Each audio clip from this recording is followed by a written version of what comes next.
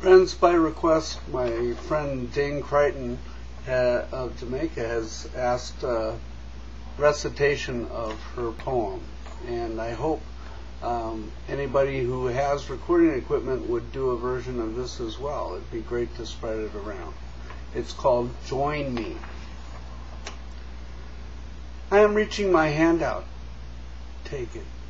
I am smiling a welcome. Accept it. I am speaking words of love.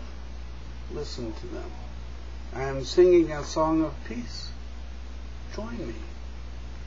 If everyone of every hue, in every land, of every religion, were to reach out their hands, were to smile and welcome, were to speak words of love, were to sing songs of peace, and take the hands and accept the welcomes and listen to the words of love and join the choir of peaceful voices, there would be no wars, there would be no hatred, there would be no fear.